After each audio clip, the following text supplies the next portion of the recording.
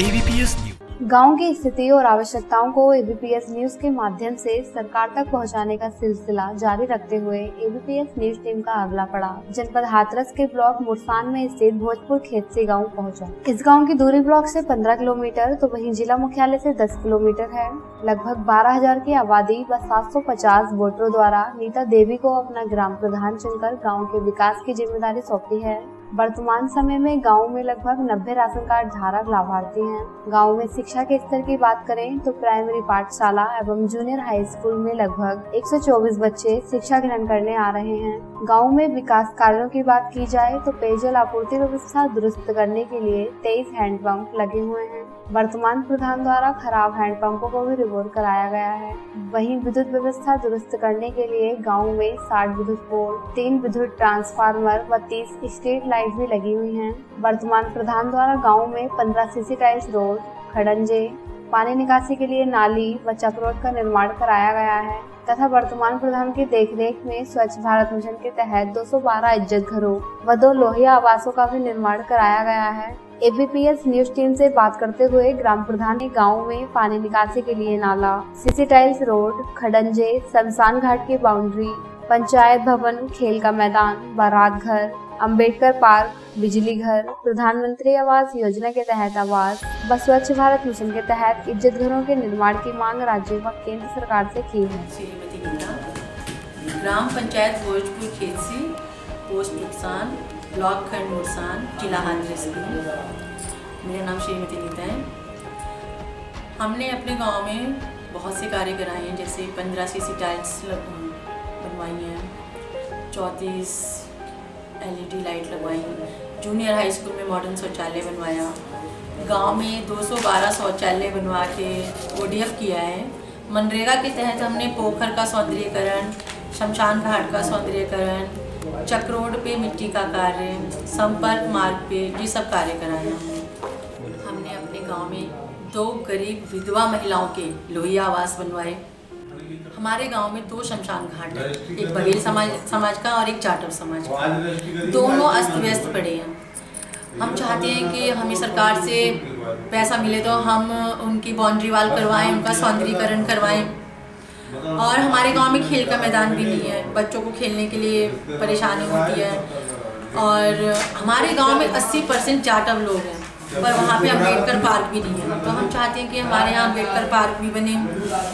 और बिजली की बहुत ज़्यादा समस्या है। बिजली बहुत कम है हमारे गाँव में। हम चाहते हैं कि हमारे यहाँ बिजली की व्यवस्था बने।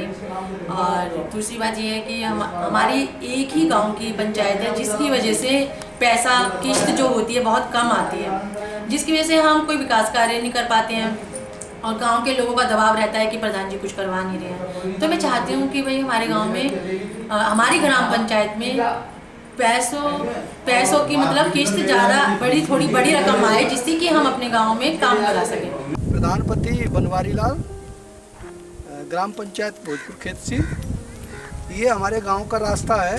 ये मेन रास्ता है। यहाँ जूनियर और प्राइमरी दोनों स्कूल पढ़ते हैं। बच्चों को काफ़ी दिक्कत का सामना करना पड़ता है, क्योंकि यहाँ पानी की मात्रा ज़्यादा आती है। दोनों तरफ़ पानी भरा रहता है। निकलने के लिए थोड़ी सी जगह है। तो मैं, आप देख रहे हैं, ये पंचायत घर है। और इसको दीवार जो है सारी नष्ट हो चुकी है, काफ़ी पुराना है ये। और अनुसूचित जाति का गाँव है ये, न तो इसमें कभी पैसा आया और ये ख़राब ही होता जा रहा है। कोई भी बारात वगैरह आती है तो यहाँ पर बड़ा दिक्कत का सामना करना पड़ता है। इसमें बरसात में पानी भर जाता है। मैंने कई बार शासन से निवेदन भी किया है, लिखित में भी दिया है। मैंने जिला पंचायत को भी दिया है, लेकिन अभी तक तो कोई कार्रवाई नहीं हुई। तो मैं ये कहना चाहता हूँ कि ये पंचायत घर के लिए और इस रास्ते के लिए मेरे गाँव में पैसा भेजा जाए तो विकास हो, जिससे कि मेरे गाँव की जनता खुश हो कि सरकार द्वारा काम कराए जा रहे हैं।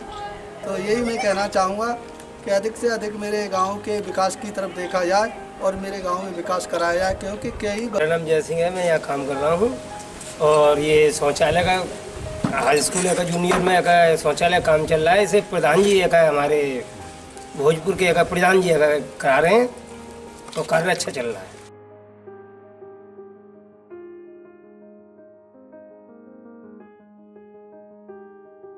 केसी पोस्ट किसान से बोल रहा हूँ। हाँ, यहाँ के प्रधान जी ठीक हैं।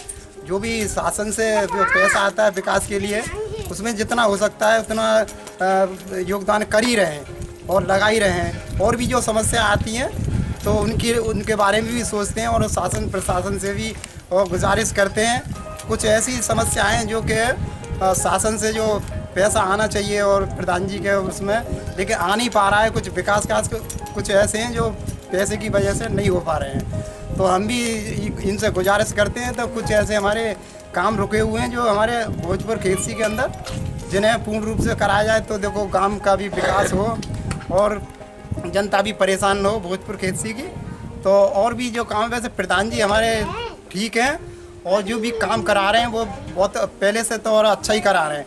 और जो शौचालय का निर्माण हमारे इन्होंने करवाया है, और शासन प्रशासन जो भी है तो इस समय गंदगी का भी आपको कुछ इधर उधर नहीं दिखाई दे रहा होगा।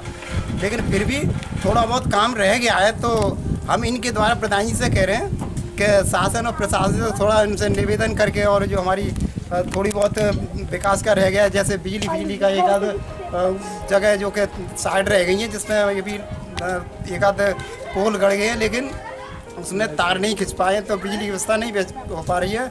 और कुछ लोग ऐसे हैं जो अंधेरे में भी और अपना जीवन यापन कर रहे हैं। और हमसे थोड़ी सी ये गुजारिश है कि जो हमारा जो पंचघर है और जो हमारे पंचघर के लिए जो हमारे रोड से जो मेन रोड है इगलास और हाथरस वाला वहाँ से जो सड़क आई है तो वहाँ पे अब ये आधा ऐसा है जो कि कच्चा है गाँव के लिए जो जहाँ जहाँ हम गाँव को घुसते ही हैं उसके अलावा जो कच्चा है जो हमारे सीधा पंचघर के लिए आया है।